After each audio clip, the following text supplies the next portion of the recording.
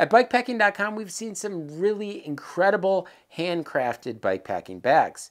But we also know it's hard to justify spending money on those bikepacking bags when you're not sure you're going to actually enjoy the bikepacking activity. So today is the first of a series of videos in which we're gonna share some free or some cheap alternatives so that you don't have to spend an arm and a leg just to go bikepacking.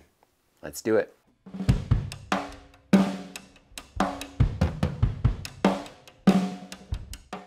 Hey everyone, so thanks again for tuning in and if you like what you see in our videos, don't forget to hit that subscribe button. And if you want to help support us a little bit more, you can do that.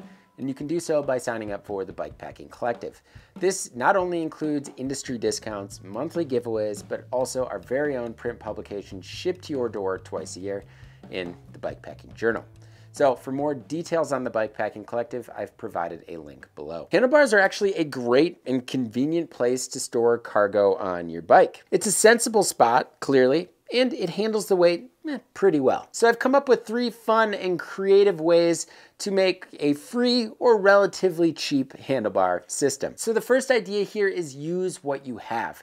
And this kind of comes in two parts. First off, a dry bag, and just some webbing straps. So some of you might already have just some webbing, a dry bag at home, some bungee straps, if you guys are into skiing, potentially some Voile straps. It's as easy as stuffing your belongings inside your dry bag, putting your dry bag up against your handlebars, and wrapping your dry bag with any straps that you might have. It looks the part and it's pretty stable. And if you wanted to make it a little bit more stable, you can do that by adding a piece of rope or webbing and wrapping it around one of the straps and then through either the head tube or the fork crown. I find that longer and smaller diameter bags work really well for your flat bar system, but I find with drop bars having maybe a shorter bag with a larger diameter helps a little bit more, especially depending on how wide your drop bars actually are. Because this not only allows you to use the top of the bar still, but the hoods, your hands won't be interfering with the bag when they're in the hoods. Typically two straps will do,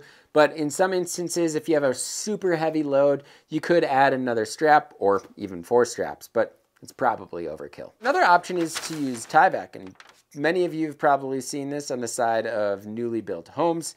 Tyvek is a 100% waterproof fabric. Not only is it waterproof, but it's super lightweight and it's very cheap. What you can do is basically a burrito-like style. Use this Tyvek sheet as your tortilla and all of your belongings as, well, the burrito filler. And then you can just attach it to the bars just like I did with the dry bag. A few downsides to this idea is it's probably gonna be a little bit more difficult to pack. The items won't compress and it's pretty loud.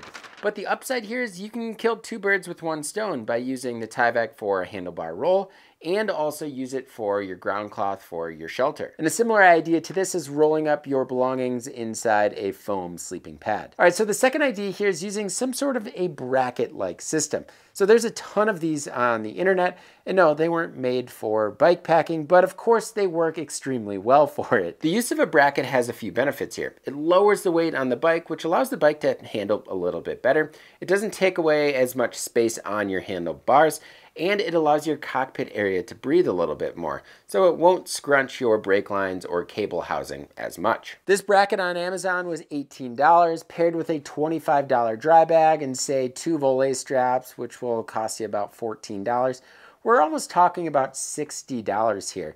So that's a big chunk that you could put towards, say, a bike packing bag. But say you already have a dry bag or those Voile straps, well, this idea is definitely more financially feasible. Or if you just wanted to get the bracket, you had some webbing straps or bungee straps at home, and you also had some Tyvek, you could also use that system with the bracket. Obviously, there's tons of room to be creative here and of course, save money. So the third option here is to invest a little bit in the bike packing world by purchasing some sort of a bike packing dry bag. And the first one that comes to mind is the Salty Roll from Revelate Designs. This is a $40 dry bag and it already comes with daisy chains and it's actually made to fit Revelate Designs harness-like system. But you don't need to just buy the harness system. All you need is the salty roll, and then you can use these straps or the webbing straps, Voile straps, with the salty roll. The reason I really like the salty roll is because it comes with those daisy chains. And once you throw the strap through the daisy chain and around the bar, it's not gonna shift left to right because the daisy chains are keeping it in place. The other thing that's nice about the Salty Roll is it actually comes with two closure systems on each side.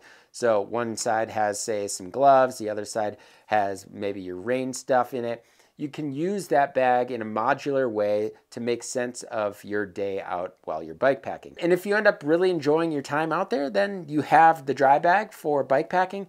And then all you need to do is invest in some sort of bike packing harness like system. So those are the three suggestions I would give you. And either myself or my friends have used these styles of systems and they've all worked with success. Now, I was trying to get a little creative with something that you might find at a bike shop, and this is just a regular fender, and I was trying to make a little harness-like system, and it didn't really work because it was only a one-strap system, but if I was to put a little bit more time into something like this, if I got a sheet of plastic like this and say some foam spacers, I could probably come up with something. But what I wanted to do in this video is share things that were really easy to do that didn't take much time, and doing stuff like this and some arts and crafts, while it is fun, it's time consuming. And I know a lot of people out there just don't have the time. So I'm sure there's plenty of other options or ideas out there. So I'd love to hear from you all. What kind of DIY handlebar setup are you using? Leave it in the comment section below. As always, thank you all so much for tuning in. And until next time, pedal further.